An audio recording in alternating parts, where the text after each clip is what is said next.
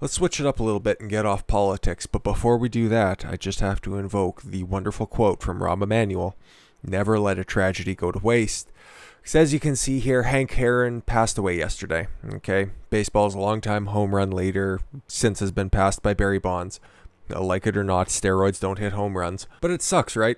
Hank Aaron was never one of my personal favorites. I love a host of old legends like Bob Gibson, Nolan Ryan, Sandy Koufax. So this isn't really a generational thing. He just never really, you know, did anything for me. Okay, he hit a whole bunch of home runs. Cool. So did Frank Robinson. But this isn't to dis- besmirch his name by any means. No, he was a significant player in the history of the game, and he deserves all the love that he's been getting over the past 24 hours. I'm not going to take that away from him whatsoever. But okay, this has been a touchy subject for social justice warriors who wouldn't even bother watching the game of baseball anyways, but they want to get rid of the Braves name because it's it's racist or whatever. But like I said there in the beginning, never let a tragedy go to waste. And yeah, Hank Aaron's death prompts call to change name. Yeah, Braves to Hammers. Just just leave it alone.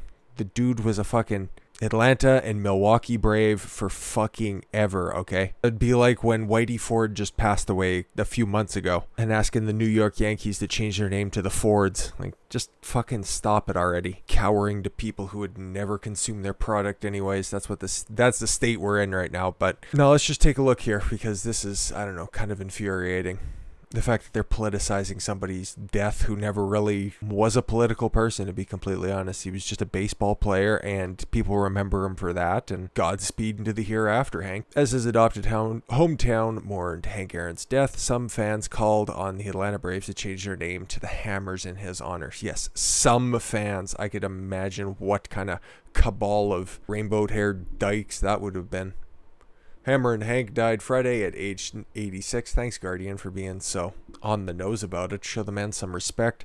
Drawing praise from all segments of society, including the current and former, of his Hall of Fame career, and providing inspiration to black Americans by overcoming intense racism in pursuit of baseball's home run record. Really? Whatever, we don't need to fight this battle here.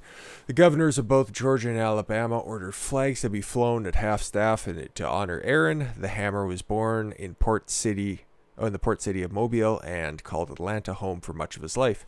The NFL Falcons, or the NFL's Atlanta Falcons, Major League Soccer's Atlanta United, that's a real thing, and Georgia Tech football team all announced that they would retire Aaron's trademark 44 in their 2021 season. The number was long ago retired by the Braves. Oh, that's good. I, I like that, okay? When there's somebody who's transcendental amount the or around the entire sport, uh, definitely. It's like hockey should retire number four for Bobby Orr. I still think number 16 and number 80 in football in the NFL should be retired for Joe Montana and Jerry Rice. And 52 for linebackers because Ray Lewis is the best. Fuck off. But no, when you're at a certain level, okay, there's a certain level of respect to just retire that number. That's totally fine. That is reserved for the upper echelon performers. It's not for Johnny come latelys who had a few good seasons. You know what I mean. The Braves opened up Truist Park to fans for the first time since the 2019 season, allowing them to pay socially distanced to Aaron on Friday and Saturday. Yeah, the guy overcame intense racism, but you couldn't allow people to celebrate from a fucking crippling fear of a sleepy head cold. Ah, just sack up. Other fans paid tribute at a display honoring his 715th home run, which is in the parking lot of the for, uh, stadium formerly known as Turner Field. So it was home for, yes, Atlanta Fulton County Stadium, where the Braves played the 31 seasons after moving from Milwaukee in 1969. Yeah, let's get this fucking piece of garbage because they got a link to this online petition. So we're going to take a look at what kind of support it's raised. The Hammers, oh, the Hammer spent nearly all of his 23 year career with the Braves the last two were played in Milwaukee, where the Braves were formerly at, whose nickname has drawn some criticism as being offensive to Native Americans. How could that possibly be offensive? Okay.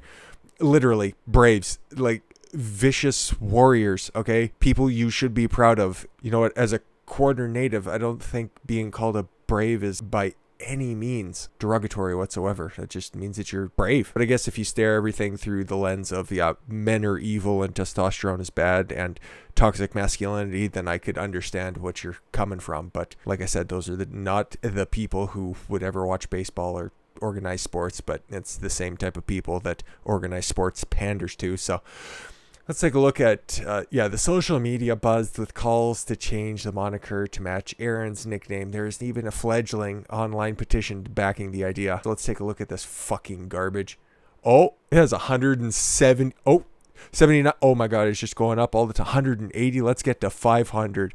81, 82. Let's just watch this go up. But I would rather get AIDS than watch this. So obviously, it's off to a rip roaring start. And I'm sure MLB will cave to that because they're thinking of caving to the Cleveland Indians, anyways. But not this year. Uh, maybe next year. Uh, fuck organized sports, dude. There's nothing left for you there if you like an unpolitical escape. But Godspeed, Hank Aaron you could sure as hell drive a baseball. And somebody as equally as important to their profession also passed away earlier today. And this one sucks because I thought that this dude would be around for fucking ever, and Larry King is finally passed on into the hereafter, sh- finally shuffled off this mortal coil, and he leaves a whole host of kids and eight wives and he was still broadcasting. Okay, if you can fucking believe it, the dude was still. I don't know how often it was, but he still had a little internet show going, and without a doubt, I don't think there's ever been a more important interviewer ever out there. Okay. I watch a lot of interviews. I listen to a lot of different people interview as well, and nobody was as good as Larry King. Without a doubt, 100%. Most modern interviewers make the interview all about themselves. So let me give you an example. And this is the one that Larry King used on O&A actually when he was on there. Most modern interviewers when they're asking their their guests on the show and be like, "Oh, okay, uh, so you have this new book coming out and I see that it's about you know, it's your life. Oh, you know what? I've also written a bunch of books too, and I've had a, a, couple of international bestsellers. So please feel free to tell me what it's like to write a book. So they always try to make it about themselves. And then when you listen to different interviewers out there, they're always asking questions about themselves, framing it about themselves, and then asking their guests to reinforce their opinion. I hate that. It's impossible to listen to.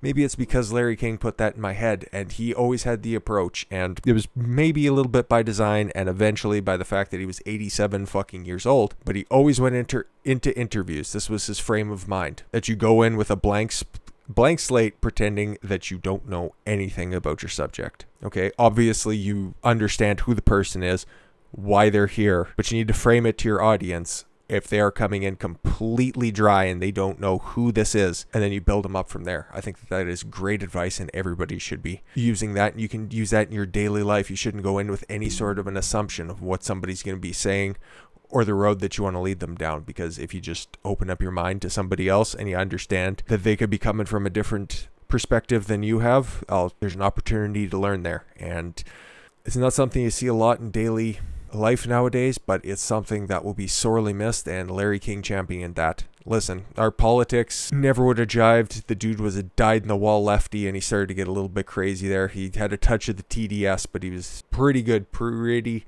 pretty good all the way up to the end. And I enjoyed listening to him the little bit that I did. I don't think his impact on the industry can be overstated. The dude was the best, and yeah, in the past 24 hours, we lost a couple of legends there. So I just wanted to take some time outside of politics and pay homage to a couple of greats that are no longer here. So I thank you all very much for the gift of your time. I've been Don Khan Swaylo. I want you to follow your gut and get after it. Take care, everyone.